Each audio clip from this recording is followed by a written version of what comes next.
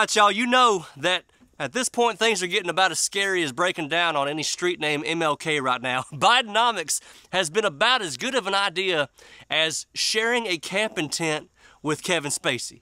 So, look, there's this great conservative girl I watch all the time. Her name is Isabel Brown. We're not actually related, but we got the same name. She posted a video and it is going viral as heck now. I just want to talk about this morning because um, the video she posted is how we're actually living in what they call a silent depression. I was thinking, whoa, okay, I got to hear about this. And she was just highlighting how if you just snapshot 1930, I know every single year is different, but we're just to take a for instance here. If you snapshot 1930, for the average American individual, they were making about 4,800 bucks a year, okay? Adjust that for inflation now, it's $87,000. We're not talking about household income. We're talking $87,000 for an individual in 1930 adjusted for inflation. Now, the average salary in America right now, 2023, is 56,000 bucks. Now, so we're actually making less than the people back in the Great Depression. So you go deeper in the 1930s, hell, it just gets worse, right? So Isabel was saying, how can we possibly be living in a time where the cost of living is actually worse than the Great Depression back in 1930 and nobody's acting like it. Nobody's saying a thing. Now, I will add that back in 1930 there was like 25% unemployment. Okay, so we still feel like we're in the fight, but the thing is, you know and I know, we ain't. It's also not talked about because we're spending all of our time now talking about how boys can have hoo-haws and girls can have ding-dongs. The moment we walk inside of an economics class, we're screwed forever back in the 1930s. It's also important to note that people had nine to five jobs, not 70 hour work weeks just to barely scratch by. Plus, back then, those people couldn't call 1 800 Cash Now like your cousin Jimmy living with his Meemaw up in the woods somewhere. They didn't have credit cards back in the 1930s. They're taking um, the American dream completely away. The real American dream died before most of us were even born. Career politicians on both sides have sold all of us for their own benefits and we can't even vote our way out of this. And I don't want y'all to be fooled because I know a lot of people saying, look, I got uh, entrepreneurs that I know that are selling out of their products in just, you know, days. I know restaurants that have huge uh, reservation lists you can hardly even get in. What are you talking about? Business is booming. We're not living in a silent depression. But do y'all know why that is?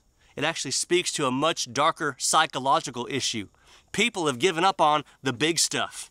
We're just trying to live in the small stuff now because everything big seems unattainable. So if your business seems like it's thriving, congrats, we're happy for you, man. But that ain't the norm. It's probably because your customers are either rich or because you're counting on customers who are middle class income who don't mind running the hell up out of their credit cards. Just in debt for life. They're like, screw it. It's done. It's spent. I'm just to live my life and celebrate these small victories. So what's the answer, buddy? The answer is to live below your means, just like our grandparents did. Eat more out of your garden and less from Sonic. Bidenomics is the most worthless invention since, I don't know, courtside seats at the WNBA. Who wants to be a part of that?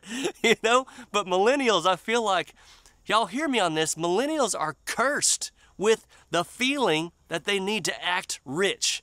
Damn it, y'all, that's just wrong. Stop acting rich. You're 23, you ain't supposed to be rich. You ain't had many working years yet, and that's okay. Remember back in 1930 that people lived in like little two bedroom houses. You know, we choose to spend a whole lot more today, even though we don't make as much. So you could almost call this a voluntary depression. How about that? You know, they didn't have the expenses like cell phones, door drop, big screen TVs, internet, uh, an Amazon app, right? You know, you could call this a voluntary depression because it's not just rich people who demand to live way up here now. It's every single class that is told you're you know 23 24 25 years old you should be living up here. You should be taking pictures on instagram inside of a private airplane that you rented for an hour. Cut the crap. You know what i'm saying? I would hope everybody watching this channel is way better than any of that. There was a time when a one family income could buy a house a car and still raise a family and I keep thinking back about Solomon, who was the most richest man in the Old Testament, incredibly wise. He had everything your mind could ever imagine for that time. And yet he still wrote, When I surveyed all that my hands had done and what I had toiled to achieve, everything was meaningless, like chasing after the wind. Nothing was gained under the sun. So he concluded with, Let us hear the conclusion of the whole matter. Fear God and keep His commandments, for this is the whole duty of man. Awesome stuff, no matter how far you go. Great to have you here. Have a great week.